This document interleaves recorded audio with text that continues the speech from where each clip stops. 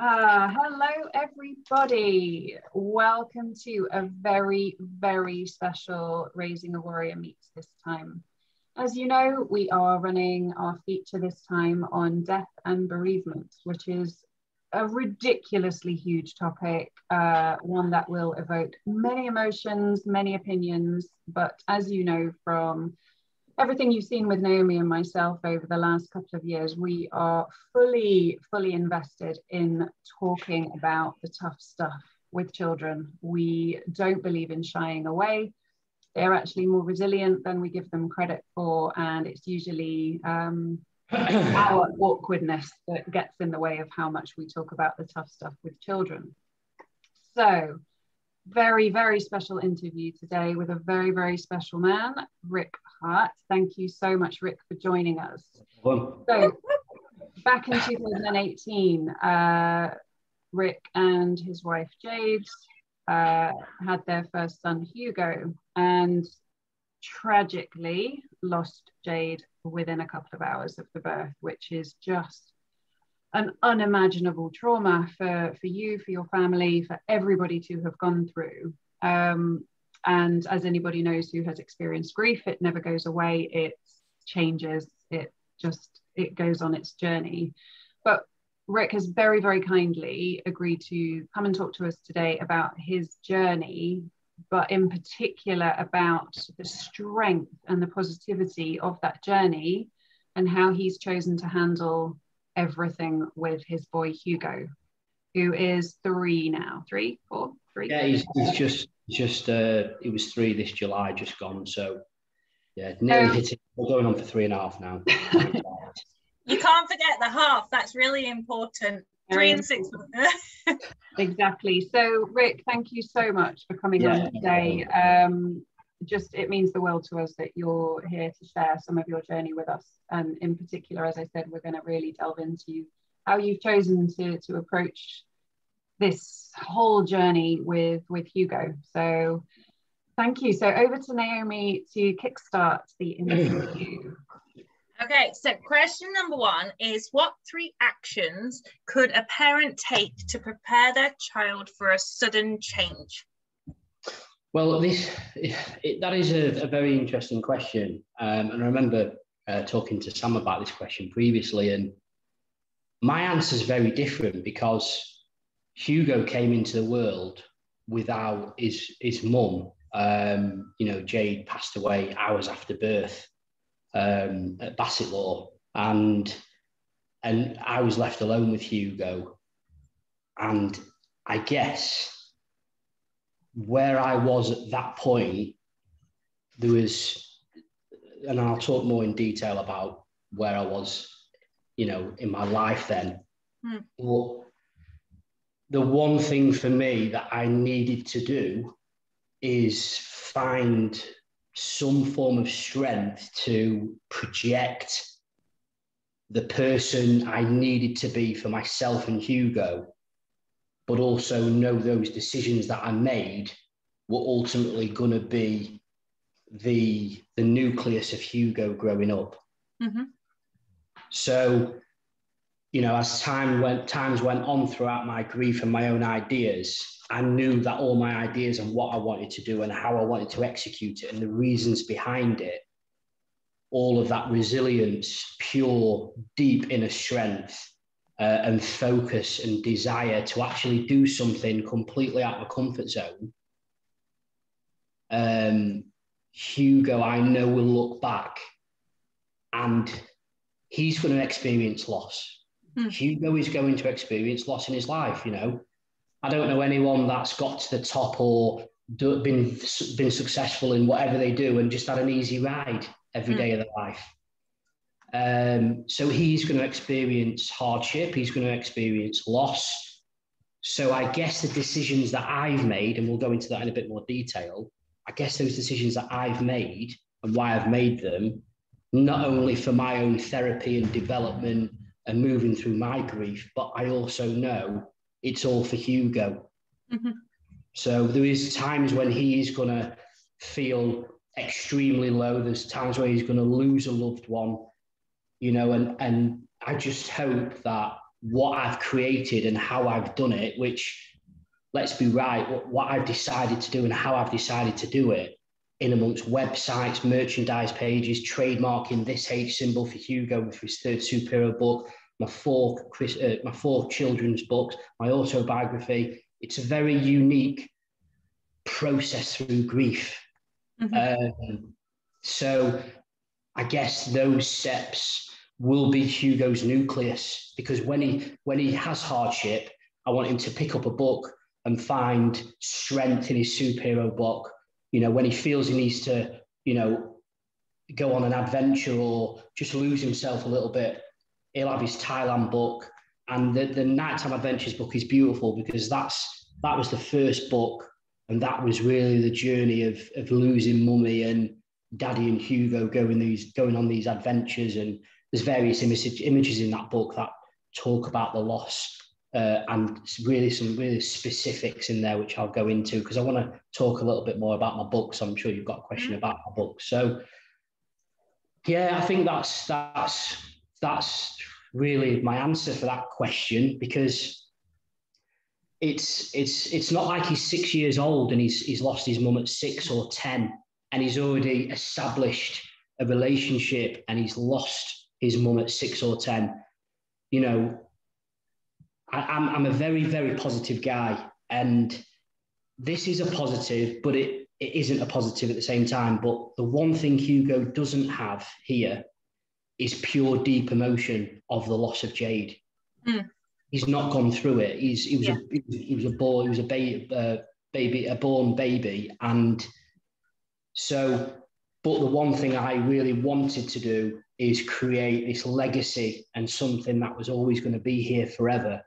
Yeah. So at whatever given point when he starts to get that little bit older, he starts to ask questions, understand more, see what daddy did, see why daddy did it, and try and find belief and strength as he go as he grows and, and, and goes older. So, um, you know, and I read these books to Hugo at night all the time, and he gets into bed and well, he's got a big bookshelf in front of his bed, and and uh, it's story time every night.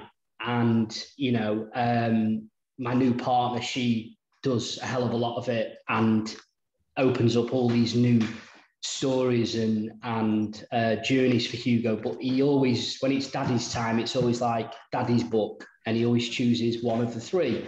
And we sit there and we read the book, um, and and that's just beautiful, really, for Hugo because that is really the empowerment of what I've done and why I've decided to do it because what are the best what is the I, I i through this was through my ideas what is the best way to find uh, a way to to allow a, a child to understand but have interest. Yeah. Because let's be right, you know, death to a child, it's you're literally doing that. Yeah. So hmm. I literally thought, what is the direction here? And I thought, books, because he's going to start reading books and I want him to understand through the books the, the, journey I went on and what I decided to do and why I decided to do it. Um, so yeah, it's been a very it's been a very emotional journey for me. Of course, it has. Um, but also as well, it's been a very powerful one and a very unique journey. But also, you know, the steps that I believe I needed to take. You know, I, I look back now and think you know, I, I, that was my that was my journey, and I, I needed to do that. Um, I always said to, always said to myself after you know Jay died, and literally I said to myself, I will shout to the nines about our life and find a direction to do the best I can with Hugo, and that was my promise to Jade, basically. So it's nice to know that um, I fulfilled that, and that does wonders for me in here. Um, but you know, I guess for me, life's not really about the destination. It's it's really the journey. Mm. And you know, I sit now and I'm having I'm having a bit of a break now from the books, and I've at the moment, you know, hung the the cape up and and I'll come back if I feel that I want to come back to my book author journey later on in, in life at what's whatever point, yeah. you know. But you know, I look back now and it was all about the journey because mm. the destination is right now. I've gone through it. The books are published. The websites are up and running with their own special meanings. Yeah. Everything's in place. The infrastructure is effectively built, mm-hmm. and and I look back now and I'm like, yeah, it's it's it's all about the journey. Um, and it was huge therapy for me, uh, Naomi. Huge therapy. You know, I went through some some some real real hard times, and um, you know, lockdown with Hugo as well. Um, I think, you know, when I look back now, you know, we're, we're nearly touching three and a half years since since Jade died, and a good year and a half of that is lockdown and the aftermath of lockdown. So, you know, nearly nearly hot fifty percent of my my deep grief journey was in lockdown. So, you know, and that was my answer really to to to put all these ideas into place. Yeah, incredible. That's amazing. It, it, it, just is. I mean, I, I, I knew that I would be really lost for words, both for the tragedy of what you've been through and also the awe of what you've achieved. So I think I'm just going to be doing a lot of amazing, incredible. You're amazing. Um, so when when you're talking when a parent is talking about um, about death and loss with a child, what kind of language do you feel is the best language to use? Do you use direct language with or indirect? What's your take on that? I guess it's a bit of both. Um, and you know, it's it's a bit like kids, toddlers, babies. They're all so unpredictable. So mm. throughout my grief journey, you know, and I look back now and and my God, what a roller coaster. And and it still is. Grief stays with you forever. And and and sometimes we feel we've got a handle on it, and you go, you know what, I, I feel quite good today or this week or whatever. Mm-hmm. But it stay it really does stay with you. And I guess based on my emotional roller coaster and state, depended on how direct and indirect I was with Hugo and have been. But I always knew and know that as he gets older, I know I'll become more direct because he's still on that on a learning curve. He's, he's only yeah. three and a half. Yeah. So when I go to my first book, so Hugo and Daddy's Nighttime Adventures was my debut children's bereavement book. And that book, um, I don't know if you've you've seen a copy of that book, but the Nighttime Adventures book is basically um, it, it's so funny as we look at that how I was di- designing that front cover in lockdown. Uh, I think it was what April May 2020, and literally sitting there sketching this rocket and me and Hugo flying off to this to this star. So the first book really and all the images were all about the interpretation and, for Hugo to understand that mummy's in the sky and me and Hugo have gone on this journey and you know, she's she's in the sky, she's flying high, and it was really focused around that. Mm. So, you know, he he goes to bed at times, and and I'm sat there reading a book to him, and and he'll go, "Mummy Jade in the sky," and he doesn't do it all the time, but he does do it, um, you know, often, and he knows it. Kids are sponges. Mm. Like you said, the resilience of children and what they take in is phenomenal. Even though we don't think that they're taking in and understanding, they are absolutely more clever than we think. And he takes it in, and you know, he's got some beautiful images in his bedroom of of Jade and um, you know all the images of of of his books and um, yeah that's that's my language to answer that question to be direct my language is through my first book. So, Mummy's in the sky, Mummy's in heaven, she's flying high, she's an angel. Um, and that is really the book. That is the first mm. half of the book. And um, you know, if I if I just flip to to some of the some of the uh, images, you know, I, it's crazy when I look back because I always have this vision of me and Hugo in bed reading in this story book, and um, you know, this this teddy was was lovely. Jade's family made that for him from one of Jade's Jade's clothing. So he still cuddles that at night now. You know, when I'm reading him one of the books, he's always like, "Oh, I want my Teddy," because that's Teddy Jaden now, because we named him Jaden in one of the books. Yeah. So, and you know, and and that was it really. And the, you know when I, you know when I had a life before July 2018. You know, I had a career. You know, there was me and Jade, and and I look back down and go, "Wow, God!" Like if someone said to me, you know, five years ago, you're going to go on a book author journey and all this sort of stuff. Not the reason, but just you're going to go on a book author journey. I would have gone, no chance. Like, mm. I genuinely, I'm not literate. I'm not right. This is the truth. I'm not very good at English literature. I've never been a poet. I've never done poetry my, my whole life. Um, I believe also as well, like I've got a, a, a mild form of dyslexia. I find it really hard to read books and understand certain things the way certain people would probably understand. And yeah. so doing this journey is just so unique. And when I when I had inspiration to do all of this, um, before I really started to push this, somebody gave me a book and a very um, very well known author and illustrator. It was through the family, and they gave me a book, and it was a silent book, and it was about a dad and a mummy, and mummy gave birth and mummy disappeared. And it was just father and son, and it was just this silent book. Um, I think it was it's called Wilder off the top of my head. Okay. And it's a silent book, and you go through it and you're like, Mummy's given birth and she's gone. And this person was like, I made this book 18 months before Jade passed away, and I feel this book is for you. This book was meant to be for you, nobody else on this planet. The book came to me and I, got a lot of ex, a lot of inspiration from it. And then also I did this love book online as well for me and Jade, and that was it. And at that point, I went books like Jade's Jade's uncle um, is a did a lot of the designs and illustrations for Snowman and the Snow Dog. Oh, right.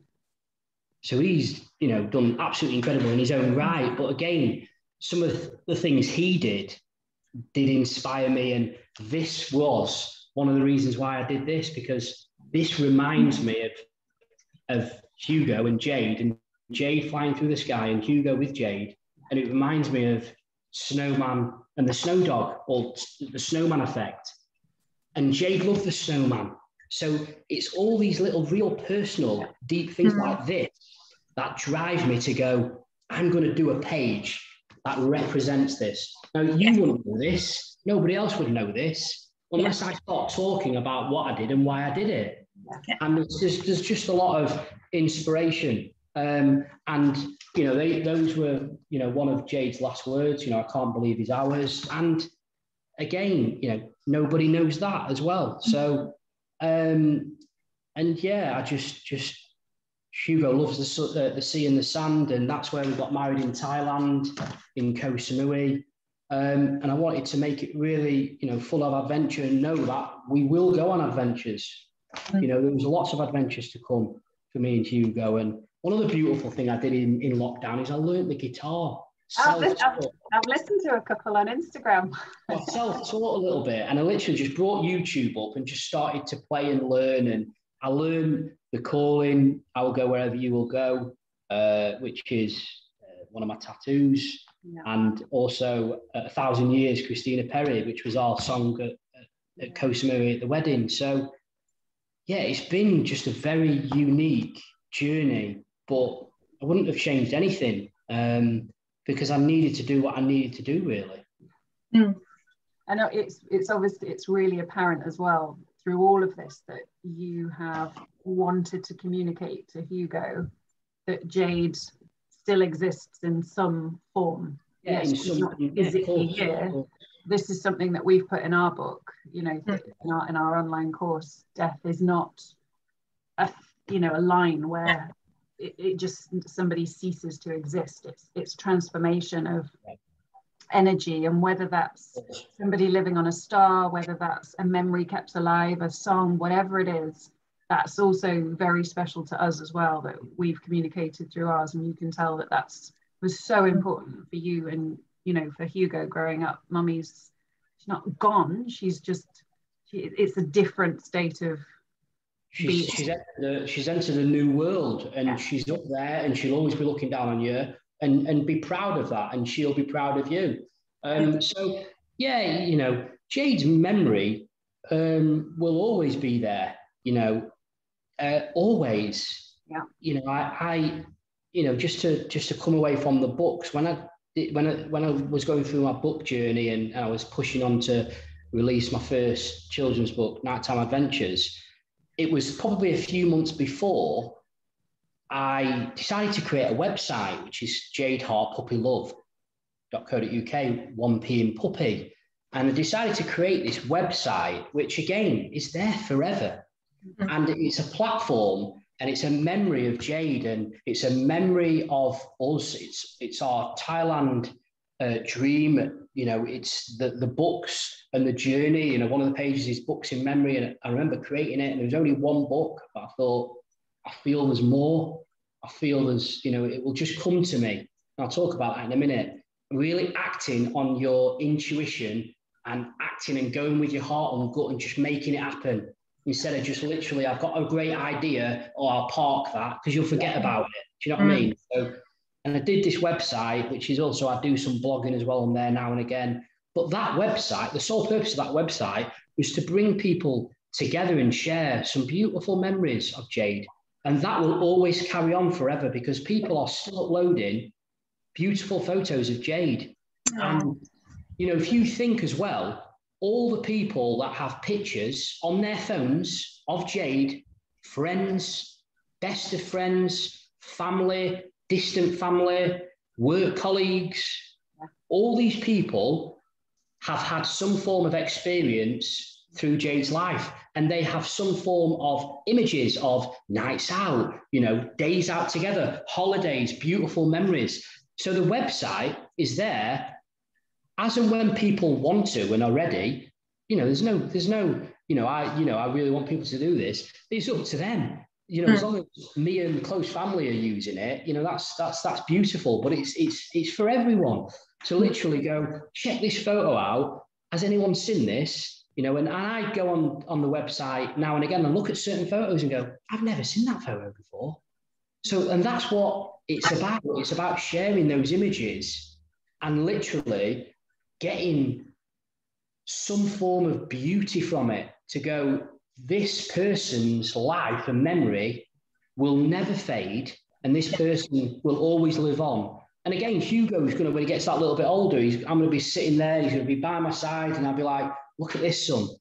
This is your mummy's website. This is what daddy did, why he did it. This is all the people that I've interacted. This is all the Im- images, you know, and and he's just going to be like, wow, wow, wow. Yeah. Well, I hope he does. Anyway, so you know yeah.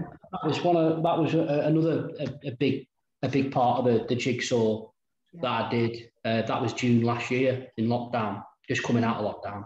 Yeah, amazing. Wow. So, do you feel um, that we should be talking to children about death and loss before they experience it? Uh, yeah, in a nutshell. Um, yeah, I like that answer. Yeah, I'm a big yeah. believer in that one.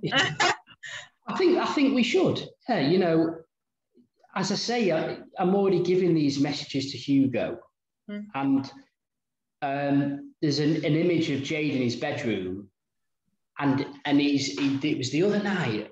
I was reading him. I think I was reading him Thailand Adventures because he's into Thailand Adventures now massively.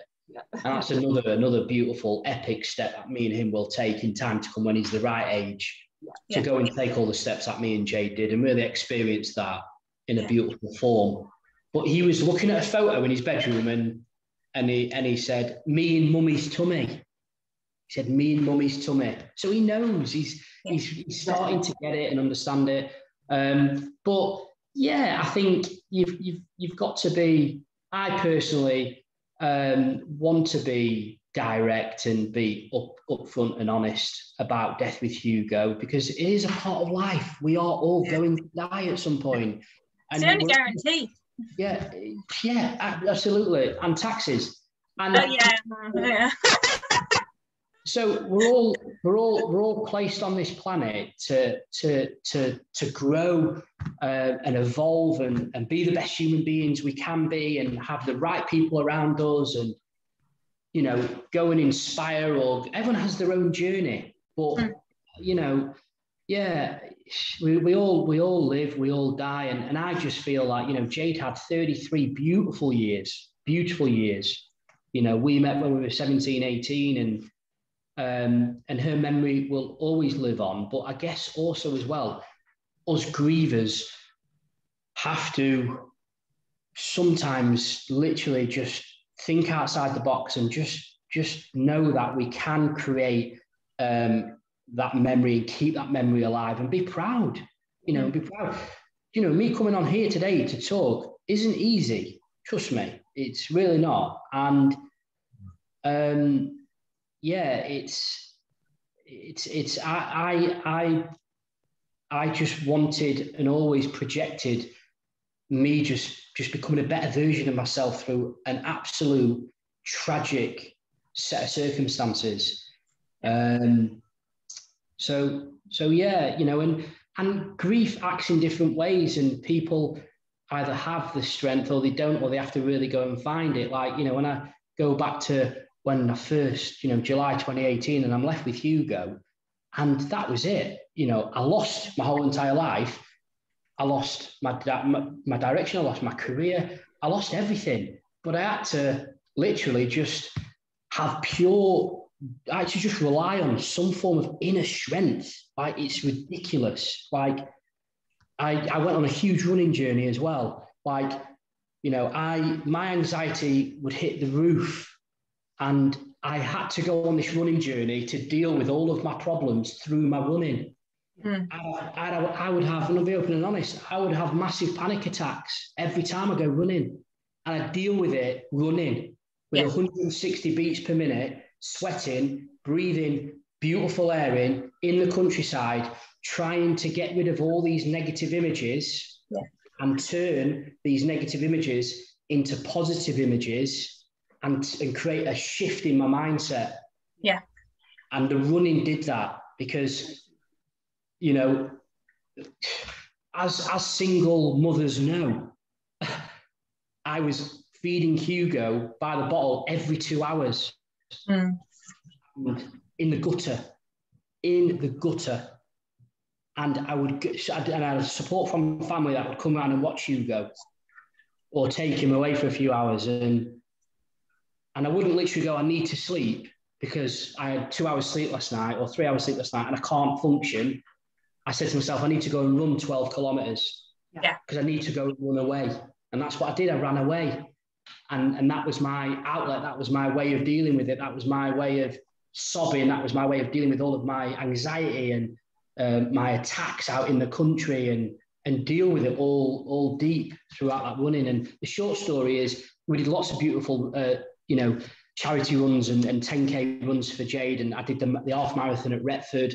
And then I pushed on and did the Yorkshire Marathon in October 2019. And I did that solo on my own, uh, which I'm very proud of. And, you know, I'm more built for weights other than running. So it's not natural for me, but I did it. But I always promised Jade, and I always said to Jade, even when she was alive, she did nine months of pregnancy. And I said, when the baby becomes I'm going to train for nine months and do the marathon, and you're going to both be at the end of the finishing line.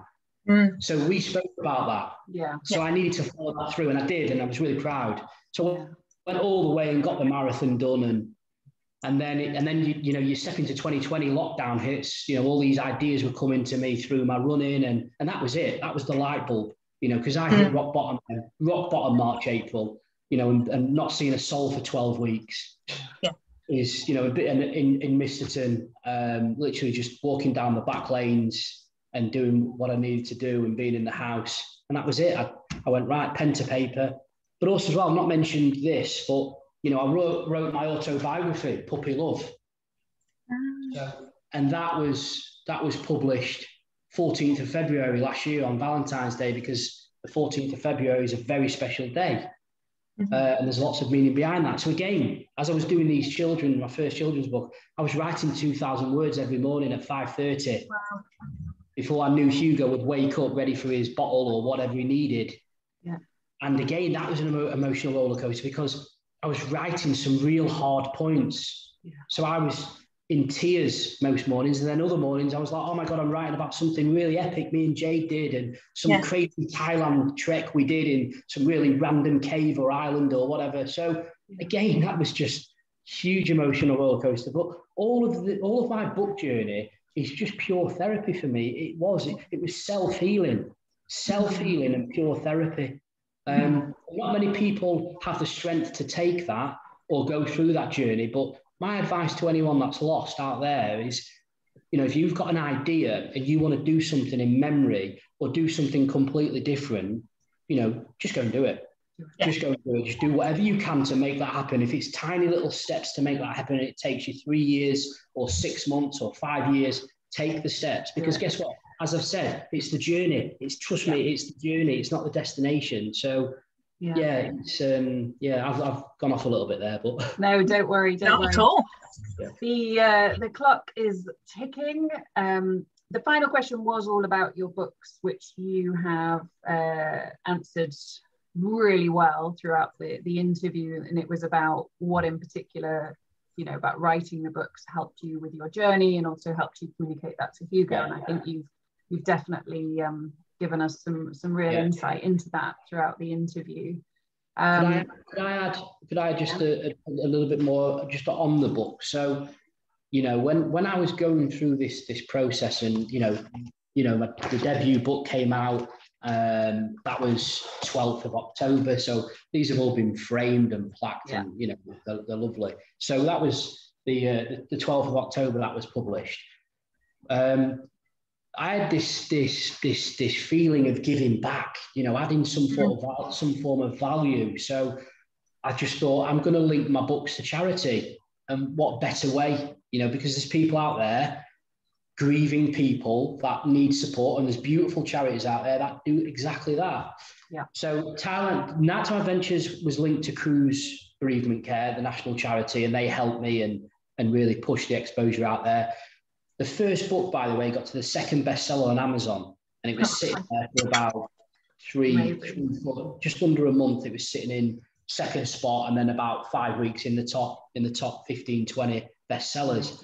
And that's just and, I didn't think of any of that because right now, and looking back, these books are just for Hugo, but I wanted to publish them because if it helps one person out there, that's the goal. Yeah. And person is probably me and was me. If it helped me and it did something for Hugo, goal mm. achieved. Goal achieved. Yeah. So all you that was a, this other book as well rolled on to um, rolled on to the second. The Thailand Adventures was the second one. So Hugo wakes up the next morning and we go on this beautiful adventure. Again, the Thailand Adventures and the superhero book, which was my third book, his superhero book, and the H sign, which has been trademarked, and we've got a merchandise page for him uh, you can see the T-shirt on at the moment. So the yeah. Thailand and Superhero book have been linked to the Children's Bereavement Centre in Newark as well. Yeah. So mm. again, meaning, deep meaning, giving something back, yeah. you know, and just creating that that that purpose and creating that bit more strength, really. So yeah, and I'm, I'm grateful to all the charities that I've helped and supported so far. Yeah, um, yeah. And I've got a Christmas book as well. So I've got. I've got I know it's now. So we're mid October, so I've got another we've got about another eight weeks to, to push yeah. on, and there's some other uh, you know good exposure of that come in and yeah. some other bits and bobs. Yeah. So yeah, again, Amazing. excited to push that through to the end of the year. It's incredible. We will definitely definitely be providing links to all of your books yes. and certainly the the charities that you've been helping to support and who have been supporting you and people in situations like yours. But um, yeah, just uh, sorry to be sort of wrapping this up quite quickly. I don't want it. I don't want it to cut off before we say goodbye.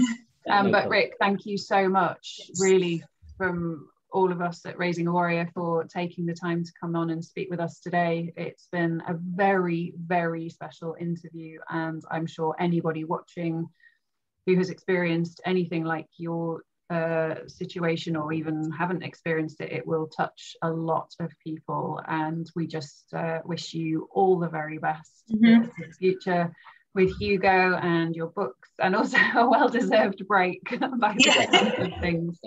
Well, thanks for inviting me on anyway. You know, it's been a pleasure. And No problem at all. So thanks for watching, everybody. Goodbye from me and Naomi, and we shall see you soon for another uh, Raising a Warrior meets. Uh, oh gosh, where's the stop?